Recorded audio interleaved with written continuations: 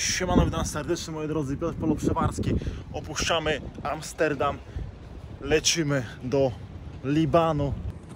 Okazało się, że dzisiaj są strajki na stacji głównej w Amsterdamie i nie jeździ żaden pociąg, nawet na lotnisko, więc trzeba będzie kombinować jakoś busami.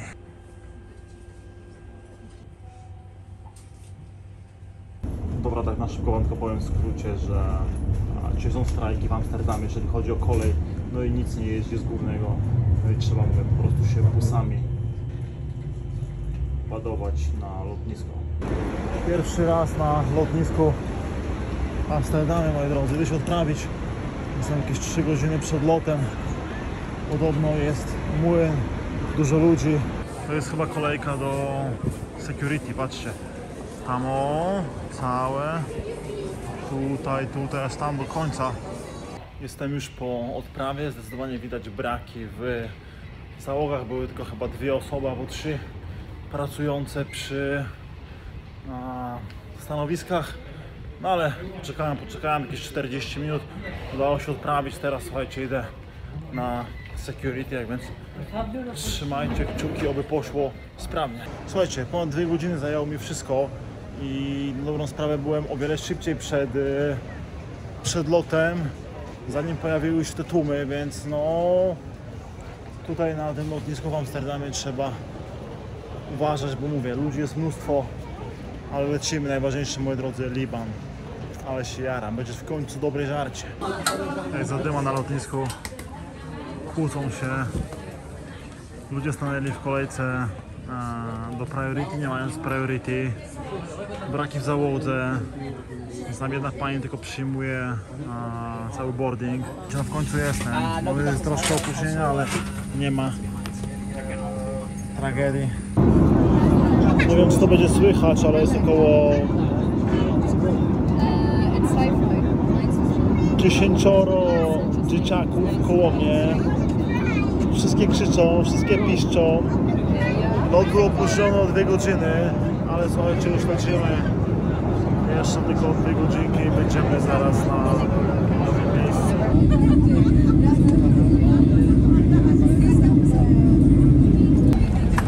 Słuchajcie, ej, jesteśmy, ej, siemano.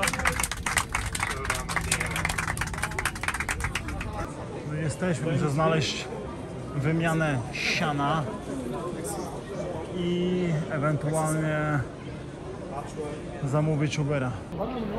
Pokłócili się, patrzcie, biją się tam, biją się o mnie, wariaty. Nie jadę z niego. Normalnie tłuką się. No, no, no, thank you. No, thank you. Tłuką się normalnie, słuchajcie, o mnie wariaty te. Nie do wiary. Do policja zgarnęła takiego kierowcę, który chciał mnie zabrać. Mówił, że jest oficjalnym kierowcą, ale widać, że najprawdopodobniej nie, bo go zgarnęli, patrzcie. Niezłe jajce na początku, co? Mówiłem się z kierowcą Ubera na jakimś ciemnym parkingu, słuchajcie, to są jaja od samego początku. Tutaj gdzieś mam czekać na parkingu. Przyjechałem, poszedłem w poszukiwaniu żarcia i tutaj jest gruba impreza. W ogóle się nie spodziewałem, że coś takiego tutaj będzie. No patrzcie na to. Kluby, puby, bary, impreza, dziewczyny. Wow, nieźle co?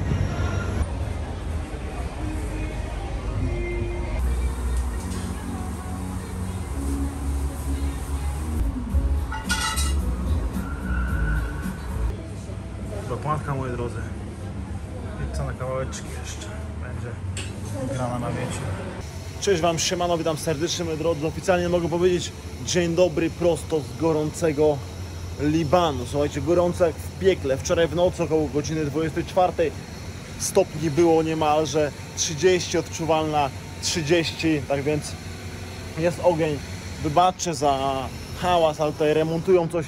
Pokażę Wam jak wygląda moja dżinsa, że tylko na szybko z okna zjemy coś i pójdziemy zwiedzać. Tak wyglądają niektóre budynki.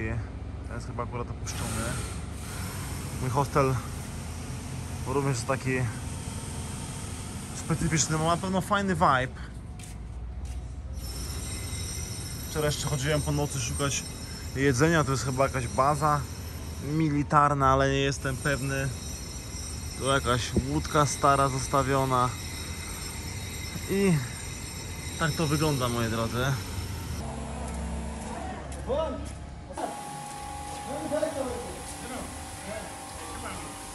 Dzisiaj poopowiadam Wam troszkę na temat bankructwa w tym kraju.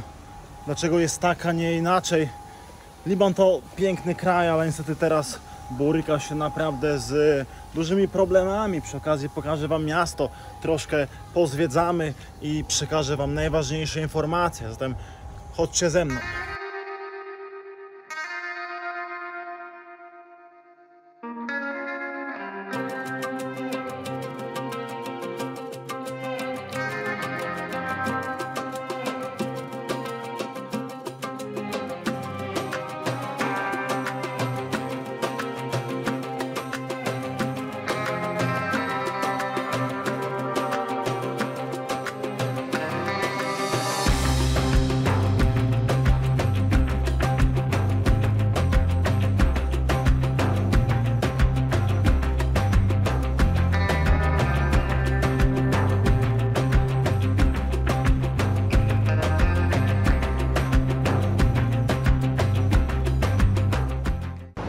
Zatem znajdujemy się aktualnie w Bejrucie, czyli w stolicy kraju.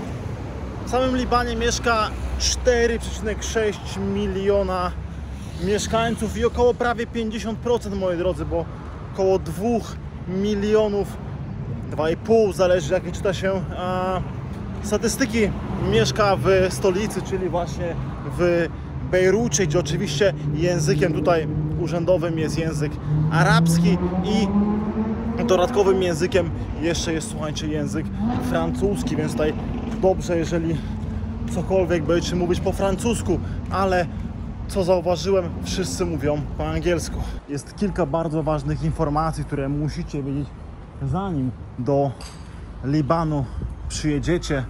Dla nas, dla Polaków, do 30 dni pobyt jest darmowy, nie ma żadnej wizy. Przyjeżdżacie, a kontrola była dość normalna. Zerknęli na paszport, z reguły sprawdzałem, czy nie macie stempli z Izraela. E, Zapytali, czy byłem już kiedyś w, w tym. W Libanie powiedziałem, że nie i to by było na tyle. Teraz pierwsze kłamstwo, które wyczytacie w internecie, w Wikipedii czy jakimkolwiek innym takim portalu, iż a, walutą oczywiście jest e, funt libański, ale według internetu jest to, słuchajcie, 1500 za jednego dolara, co jest oczywiście kłamstwem, ponieważ słuchajcie, jeżeli a, chcieli zapłacić gdziekolwiek kartą po kursie 1500, to mogę Wam zagwarantować, że będą to najdroższe wakacje w życiu i posłuchajcie mnie teraz bardzo uważnie. Kurs jest kosmicznie zmienny. Ja przed przyjazdem tutaj dowiedziałem się, iż za dolara dostaje się 31 tysięcy, słuchajcie, a internet mówił 1500, więc mówię, tych informacji musicie być pewni, że taki kurs nie obowiązuje. Po czterech dniach po moim przyjeździe wczoraj dowiedziałem się, że kurs waha się już pomiędzy 34 a 35 tysięcy, więc na dobrą sprawę jak ja ten materiał nagrywam, a jak publikuję, to może być nawet około 40 tysięcy za jednego dolara. Czyli teraz moi drodzy, jadąc po najniższej linii a, oporu i wyjaśnię, powiem Wam jak to wygląda. Jeżeli na przykład zamówicie Ubera, który kosztuje 150 tysięcy, jeżeli zapłacicie gotówką, licząc przy kursie, a, słuchajcie, 30 koła, to zapłacicie dolarów 5. Jeżeli będziecie chcieli zapłacić kartą, policzy Wam po kursie 1500, czyli zapłacicie 100 dolarów, słuchajcie, za kurs, który kosztuje dolarów 5. Więc pierwsza rzecz, chowacie karty i nigdzie ich nie używacie. Tak samo wyciąganie pieniędzy z bankomatu policzy Wam po kursie 1500 i uwierzcie mi, że za obiad zapłacicie nawet 200 dolarów zamiast kilku dolków.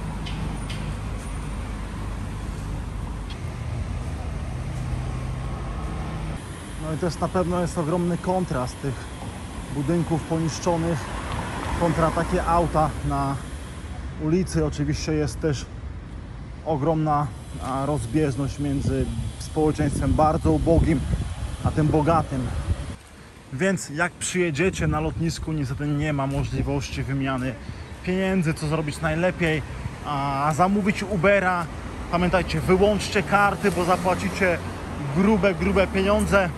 Ustawiacie sobie gotóweczkę na Uberze, a anulujecie przejazd, albo z reguły nawet kierowca Wam anuluje. Eee, Weźcie od niego sobie numer na Whatsappie, zadzwońcie, dogadajcie się na normalną cenę 5, 6, 8, 10 dolarów w zależności gdzie jedziecie. Unikajcie tych naciągaczy z lotniska, bo jak widzieliście, tam sytuacja była jakaś trochę taka napięta. Wmawiali mi, że są to a, kierowcy potwierdzeni przez rząd, a jak widać zostali schaltowani, w sumie jeden z nich przez policję, więc a, uważajcie na to. Ja pojechałem Uberem dość bezpiecznie, a, no i tutaj sobie na miejscu zapłaćcie e, dolarem za taki przejazd i później po przyjeździe wymieńcie po prostu siano. No i jeszcze jedna ważna rzecz.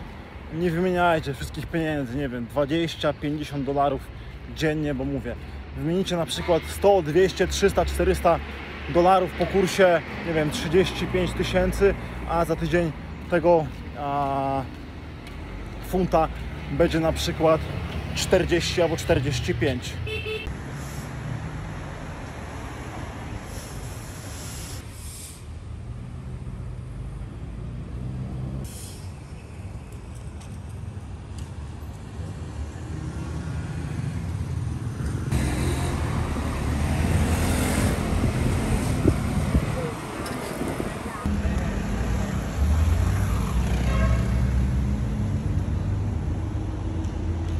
co ważne, słuchajcie, dziewczyny w Libanie są naprawdę piękne i nie musicie się martwić, że to jest nie wiadomo a, jak e, restrykcyjny, słuchajcie, islam, tylko 55%, a jeżeli chodzi właśnie o wyznawców tej religii, aż 40% to chrześcijanie, więc tutaj widać, że dużo ludzi, powiem Wam, no nie pamiętam od wczoraj ile osób widziałem w burkach, a ile kobiet roznegliżowanych.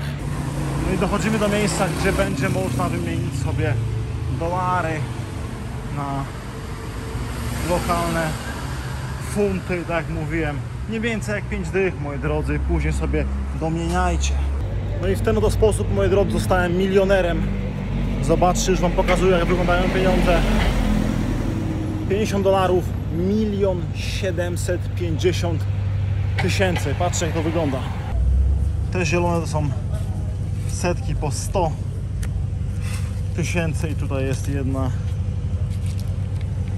50, to jest piątka w języku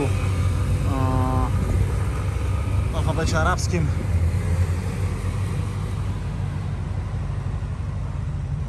No idziemy dalej zwiedzać. Dotychczas najsłabszą chyba walutę, którą miałem w rękach to pieniądze wietnamskie dongi kosztowały 25 a, tysięcy dolara. W Indonezji kiedyś było 15, nie wiem jak teraz. Tutaj już jest 35. Kosmos, co? I to jest to, co mówiłem. École de Trois Doctors, moi drodzy, po francusku. Bardzo dużo to jest rzeczy właśnie opisanych. I powiem Wam, samo miasto no, robi wrażenie. Na pewno jadąc z Europy cywilizowanej, szczególnie z Amsterdamu, no to tutaj jest naprawdę inny świat. I o co chodzi z tym całym krachem? Dlaczego te pieniądze tak idą w górę? Dlaczego tak waluta słabnie? Zajdziemy w jakieś fajne miejsce, ciche, gdzie będę mógł przekazać Wam wszystkie ważne informacje. Zatem warto powiedzieć, jak wyglądał system bankowy do roku 2019 przed całym a, krachem. Zatem, moi drodzy, opierał się on na depozytach w dolarach posiadanych przez emigrantów libańskich zamieszkujących m.in. w Stanach Zjednoczonych, we Francji. Bardzo dużo również, słuchajcie, Libańczyków mieszka w Kolumbii, szczególnie w Barranquilli. Dodatkowo Wenezuela. No i tak to wyglądało do roku 2019. Później rząd postanowił wprowadzić podatek, który miał dotknąć te społeczeństwo najbardziej ubogie. Niestety wybuchły protesty w niemalże wszystkich dużych miastach. No i stało się, słuchajcie, co się stało. Także po tym, kiedy ludzie wyszli na ulicę, emigranci, można powiedzieć, troszkę byli zaniepokojeni tą całą sytuacją, co się dzieje w ojczyźnie, no i zaczęli masowo te pieniądze wybierać ze swoich kont bankowych tutaj w Libanie. No i zaczął się problem. Tak odbiegając od tematu, zobaczcie jak te niektóre budynki naprawdę ładnie wyglądają. Sporo zieleni. No i od tamtej pory, czyli od połowy tego 2019 rynek zaczął się załamywać. Ten dolar a, libański, który kosztował 1500, po prostu tak poleciał na ryj, że już jest 35 tysięcy dzisiaj. A to jest jedna z atrakcji Bejrutu. Schody świętego Nikolasa.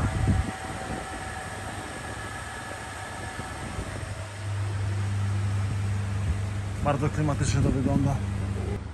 No i właśnie przez ten cały krach i tak dynamiczną zmianę tej a, wartości waluty, często w sklepach, restauracjach nie ma po prostu a, cen podanych, ponieważ tak jak mówię, dopiero co było 31, już jest 35 tysięcy i no idzie w górę niestety. Tak więc albo często knajpy mają bardzo zawyżone ceny. W razie jeżeli znowu wzrośnie waluta, to i tak będą do przodu, albo po prostu niektórzy Wam cenę podają dopiero jak zapytacie. Kurczę, naprawdę ładne miejsce. Dodatkowo tutaj niektóre budynki, które mogliście widzieć, są zniszczone. Strzelam, że jest to spowodowane wybuchem, który miał miejsce w roku 2020. Pewnie większość z Was kojarzy tą eksplozję. Filmik poszedł w viral, kiedy jeden z magazynów w porcie po prostu wybuchł. I o tym będzie kolejny odcinek, ale chciałem Wam tylko właśnie tutaj taką ciekawostkę powiedzieć, że przez to niektóre budynki mogą być zniszczone, no bo znajdujemy się w sumie niedaleko tej a, tego portu.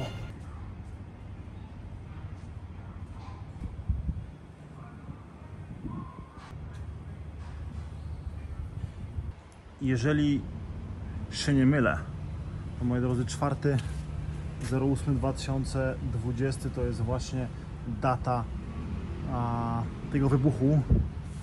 No i tutaj są wypisane nazwiska osób, które zginęły. I warto też powiedzieć, że do tego roku 2019 ta opieka medyczna w Libanie była na naprawdę wysokim poziomie, jeżeli tu nawet chodzi o Bliski Wschód. Dużo ludzi przyjeżdżało tutaj się leczyć prywatnie. Niestety po tym krachu ludzi po prostu nie było stać na e, opiekę zdrowotną prywatną, więc te szpitale zaczęły po prostu upadać. No i szacuje się, że nawet około 40% a, osób, które pracowały w opiece, emigrowało, moi drodzy. Bardzo dużo słyszałem o libańskim jedzeniu, które jest podobno smaczne. Niestety póki co same zachodnie knajpy z jedzeniem włoskim, jedzeniem meksykańskim, kurczę, naprawdę wszystko, no i jest dość drogo, jeżeli chodzi o takie knajpy zagraniczne. Niestety wczoraj po godzinie tam 21, 22 w sumie nie było możliwości znaleźć lokalnego jedzenia, więc dzisiaj chciałbym skosztować ichniej kuchni. Znalazłem jakąś lokalną piekarnię. Kurczę, bardzo dobrze to wygląda. Zaraz zapytam. A, to robią takie placki jakby od pizzy. Zapytam o cenę.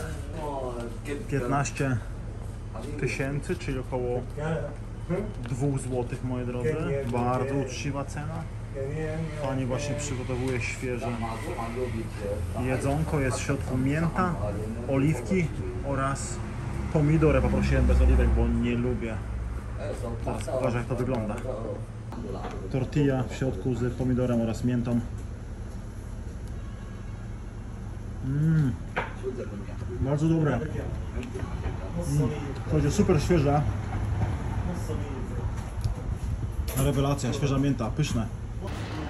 Naprawdę bardzo fajny klimat. Tutaj ja sobie jem e, jedzonko. Pani to sobie obok e, jara szyszku. Jest turbo gorąco. Mm. Rewelacja, naprawdę.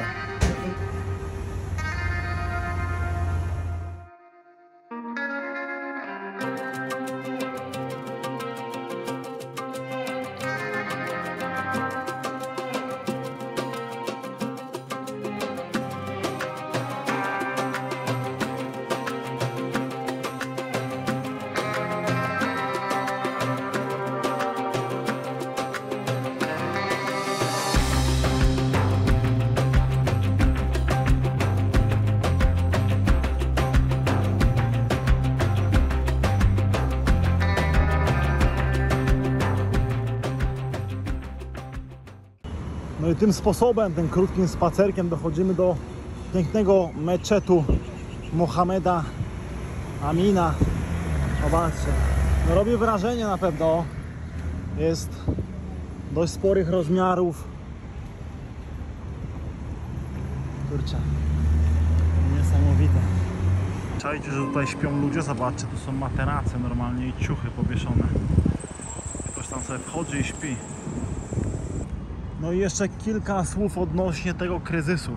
Rok 2019, połowa, słuchajcie, pierwsze takie tąpnięcie, krach, a, osłabienie waluty, później rok 2020, słuchajcie, sytuacja pandemiczna, a, zagięcie kraju, brak turystyki, no i rok 2020, dodatkowo wybuch, eksplozja magazynu w porcie i Liban, słuchajcie, jest naprawdę, naprawdę w tragicznej sytuacji.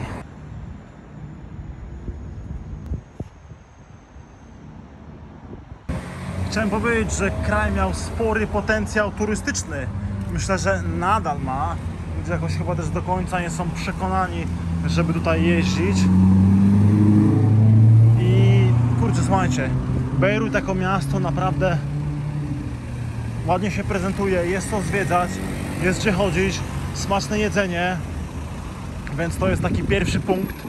Dodatkowo dostęp do morza oraz góry. Tutaj macie wrzuty I'm okay, but my house is gone. Jest ten właśnie smutny przykład tej sytuacji z eksplozją. I powiem Wam nieco więcej w e, kolejnym odcinku szczegółowo na temat właśnie tej sytuacji.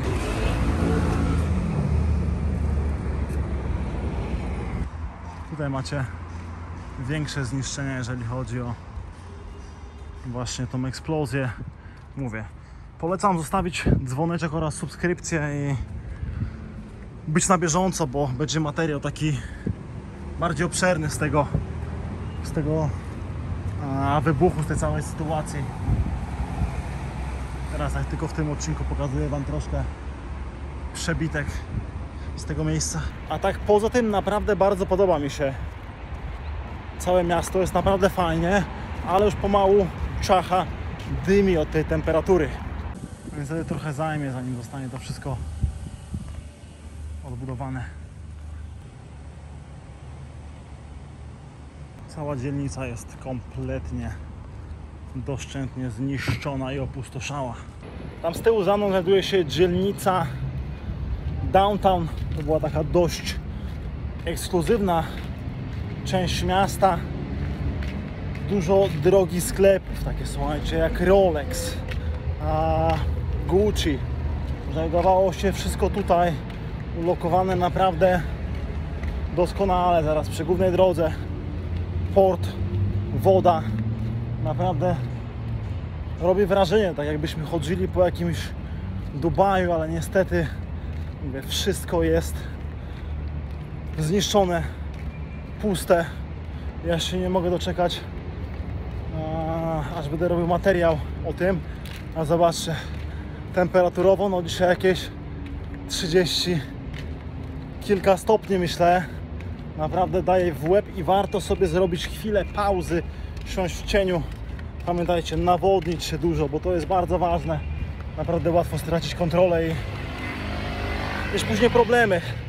Bo mówię, temperatura to nie żarty. No jak jesteśmy przy temacie kryzysu, jeszcze warto zerknąć na cenę paliwa. Tutaj na dystrybutorze jest napisane, że 1 dolar to 34 tysiące, a za litr paliwa około 68, czyli no 2 dolary. Tanio nie jest. Dodatkowo chciałem, aby po takich odcinkach jak ten ludzie byli przekonani, że Bliski Wschód jest naprawdę fajnym miejscem do zwiedzania. Jest e, bezpieczny. Ludzie są bardzo sympatyczni. Któryś raz się już o tym przekonałem, że naprawdę są bardzo uczynni i niestety tak samo jak w innych krajach media pokazują troszkę inaczej. Zawsze pokazuje się w telewizji te najgorsze rzeczy, zawsze się pokazuje jakieś problemy danego kraju, jakieś słuchajcie zamachy, a wszystko to jest złe, ale nigdy się nie pokazuje tych dobrych ludzi. Ja zawsze mówię, że w ryj to można ostać wszędzie, słuchajcie, nawet u siebie na podwórku. Nie trzeba jechać na drugi koniec świata, żeby coś się nam stało, ale ja chyba jestem dobrym człowiekiem, bo jeszcze nie miałem takiej sytuacji, oby się nie przytrafiła jakaś taka naprawdę, nie wiem, kosmiczna, więc wpadajcie.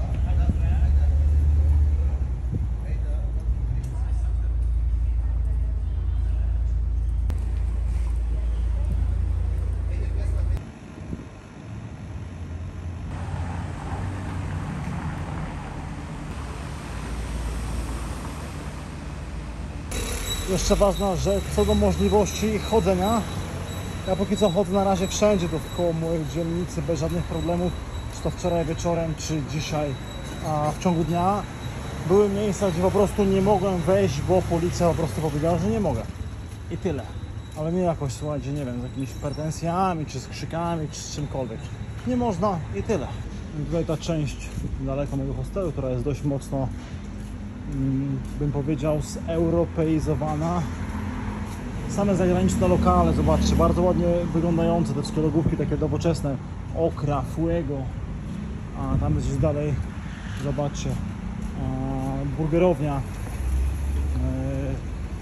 takosy, więc tutaj wszystko takie bardziej fancy. Tutaj się odbywają imprezy wieczorami, więc z nudów raczej też byście nie umarli, bo imprezy te wczorajsze wyglądały całkiem spoko. I też macie takie budki z kanapkami lub ewentualnie kawką, jakbyście chcieli. Znalazłem jeszcze jedną knajpę taką, a, gdzie mają piec i robią, no patrzcie, takie pizzę z serem w środku i dobrze to wygląda. No, patrzcie.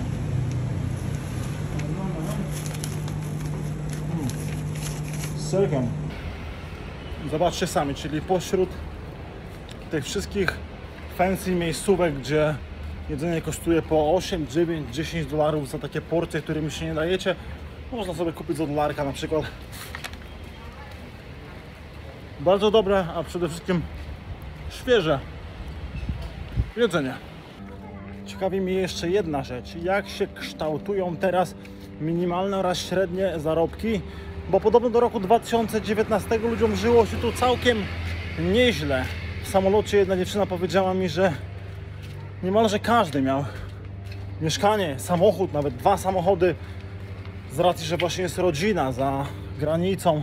Często zarabiali lepiej w dolarach, na przykład w Stanach Zjednoczonych i tu zawsze ktoś coś tam skrobnął. Tutaj wujek, tutaj ciocia, tutaj coś wysłał, tu coś przykombinował, ale podobno po roku 2019 się zmieniło, więc zaraz zapytam, jak kształtują się tutaj zarobki w dniu dzisiejszym. Jeszcze jedno wyjście w dniu dzisiejszym, aby zjeść a, obiad w libańskiej restauracji, jednej z popularniejszych tutaj, Le Chef. Ale zanim tam dojdziemy, chciałbym Wam powiedzieć właśnie jak to wygląda z płacą. Porozmawiałem z ludźmi, którzy tutaj a, mieszkają i już Wam mówię. Tak więc mówiłem Wam wcześniej, że do roku 2019 ludziom tu się żyło nawet dość dobrze i średnie takie tutaj pensje oscylowały w granicy 2 miliona a, można powiedzieć yy, funtów, czyli to było wtedy w okolicy chyba około 1000 a, dolarów plus minus. Teraz słuchajcie dalej, wypłaty są w okolicy 2 milionów, ale kurs się zmieni, już nie jest 1500 czy 1000 coś za e, dolara, tylko jest na czarnym rynku w sumie wszędzie 35 tysięcy, ale dalej a, wszystkie firmy liczą po kursie tym, który był wcześniej, czyli zarabiają, zarabiają tyle samo w lokalnej walucie, ale ten pieniądz jest nic nie warty. I teraz około, słuchajcie, zarabia się 50 dolarów na miesiąc, a tak średnio, czy tam troszkę lepszej, około 200 dolarów na miesiąc, czyli no bardzo słabo i pytałem jeszcze, jak ludzie za to żyją. I gość powiedział mi, że on sam tego nie wie, jak to jest wykonalne, ale mówi, że nadal rodzina z zagranicy coś tam pomaga. Mówi, że jeżeli się zarobi powiedzmy 200 dolarów, tam 100 dolarów i rodzina przyśle kolejne 100, 150, 200, no to idzie jakoś tam, słuchajcie, moi drodzy, przeżyć. Teraz tak troszkę właśnie przypomniał mi się a film Bartka z Bezplanu o Wenezueli. Ludzie zarabiali tyle samo dalej w lokalnej walucie, ale niestety kurs był tak słaby, że spadło to, słuchajcie, do nawet kilku chyba dolarów na miesiąc właśnie w przypadku a, Wenezueli. Jesteśmy w restauracji Le Chef. Tutaj zobaczcie, te sceny są cały czas na bieżąco zmieniane po prostu długopisem. To jest zupa a, z ciecierzycy chyba, albo soczewicy.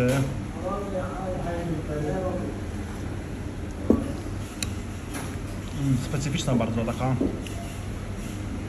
lekko kwaskowata. Do tego macie rzodkiewkę plus pieczywo.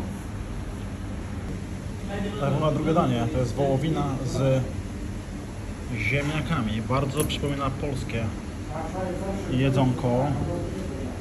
Ziemniaczki spróbujemy najpierw bez sosu. Hmm. Spoko chyba z masełkiem. Sosik do tego taki gęsty. Mięsko również wygląda na dobry. Troszkę słone, bym powiedział. To jest niby jeden ze specjałów w restauracji. Tak wygląda wołowinka. Mmm, chodźcie. Rewelacyjna. Naprawdę najadłem się do syta. Zamówiłem sobie, słuchajcie, tak, tą zupę, a lentil zup, do tego tą wołowinę, a gościu macha, a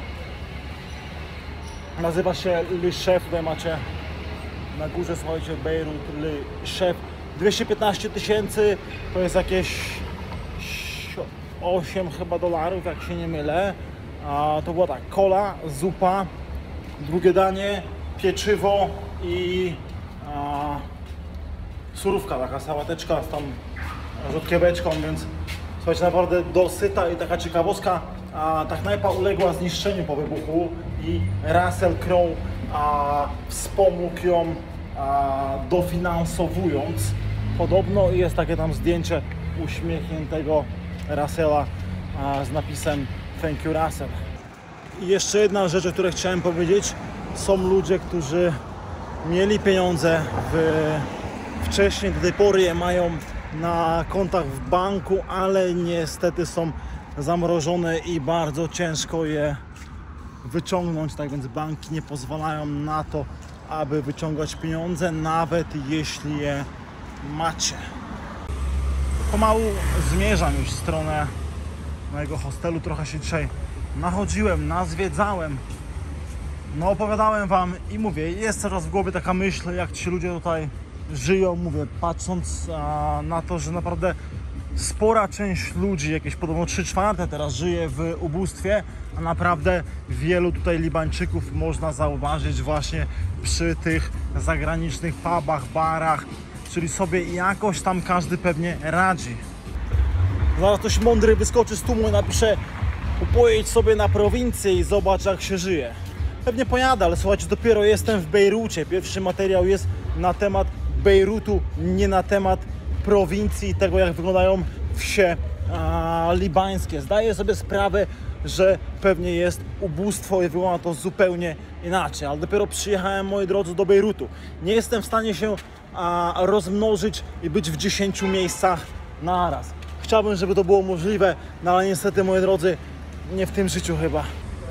Po pierwszym dniu jestem naprawdę bardzo pozytywnie zaskoczony. A zadziwił mnie na pewno Bejrut.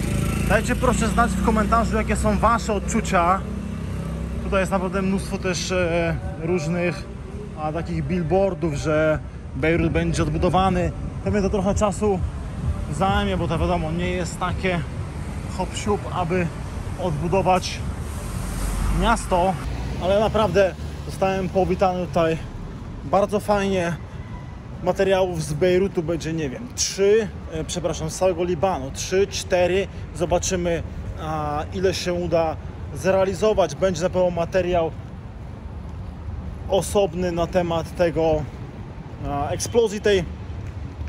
Moi drodzy, pamiętajcie, żeby dawać łapki do góry, komentarze, lajki.